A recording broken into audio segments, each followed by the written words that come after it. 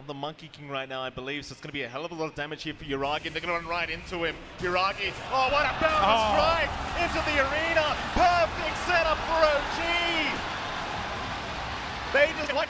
Oh, oh not see the clean for They're right. That's massive. They, they just get this buyout Oh, on here because we he go. doesn't have the. OG magic gets started on Pakazs. He's been caught out. Can they get him? Yes, they can. Run right into him. Yuragi. Oh, what arena.